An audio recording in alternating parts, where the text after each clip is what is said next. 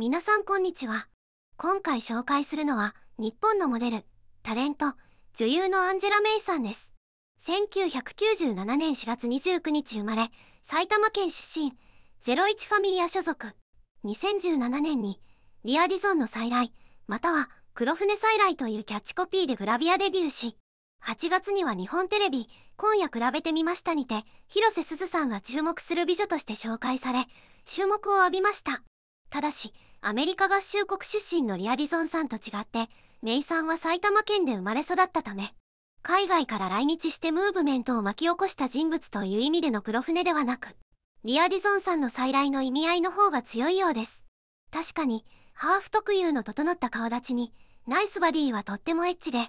思わず私の股間の黒船からペニーが顔を出してしまいます。そして気になるのはメイさんの3サイズですが、一番最後に発表しますので、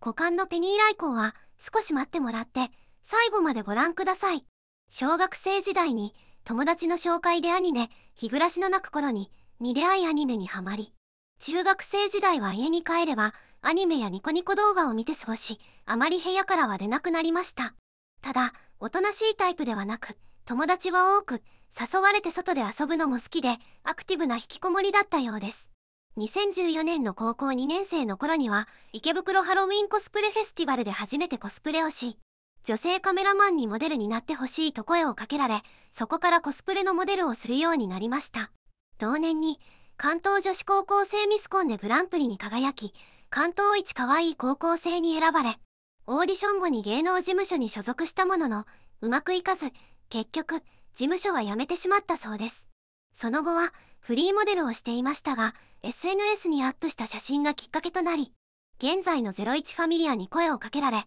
そこからは、あっという間に注目を集めるようになりました。そして、その10頭身のスタイルを活かし、ガールズアワードや東京ガールズコレクションなどのファッションショーなどで、モデルデビューも果たしました。ランウェイに挑戦するにあたっては、意図的にグラビアアイドルとしての活動をセーブし、ウォーキングレッスンなどに取り組んでいました。また、2018年時点のインタビューでは、グラビアアイドルとしてデビューを経てファッションモデルに進出しているため、自身はいわゆるモグラ女子とは違うと認識しつつも、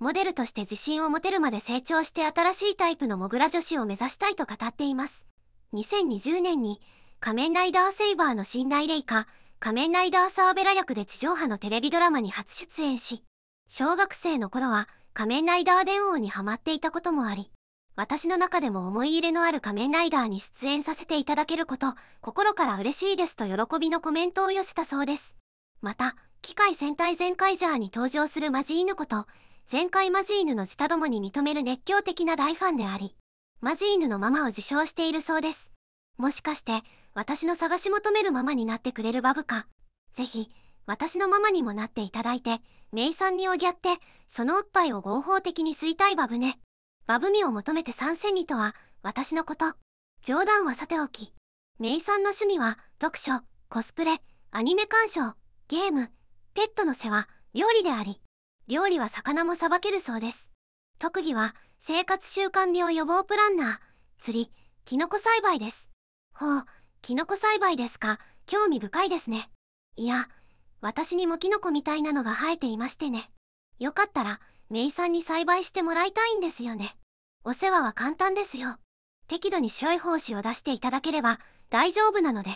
私の松茸のことはさておき、最後に気になるメイさんの3サイズの発表です。上から92、58、90の G カップです。グレートですよ。こいつは、整った顔立ちにこのスタイルはもう反則級ですよね。私の股間のクレイジーダイヤモンドもオラオラしてしまいます。ということで今後も目が離せない活躍されること間違いなしのアンジェラ・メイさんをこれからも応援していきましょう。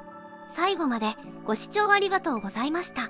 このチャンネルでは素敵な女性のエピソードを紹介するとともにえりすぐりでちょっとエッチな写真も交えて紹介していきます。この動画を見て股間のペニーが来航してしまった方は是非チャンネル登録、高評価をよろしくお願いします。それではこの後は、メイさんとの2人っきりのお時間をお楽しみください。では、また次の動画でお会いしましょう。